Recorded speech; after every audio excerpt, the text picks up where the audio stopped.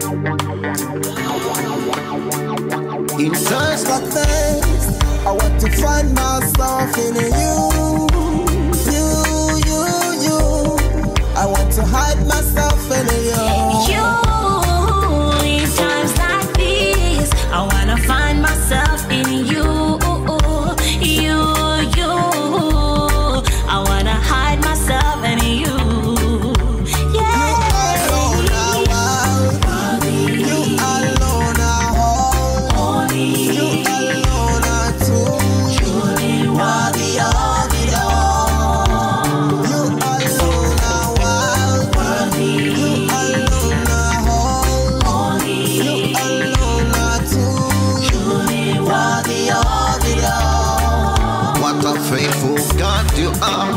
glorious in my morning star.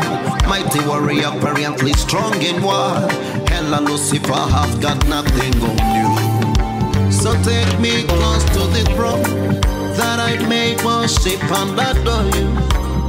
For this cause I was born, forever belong to you.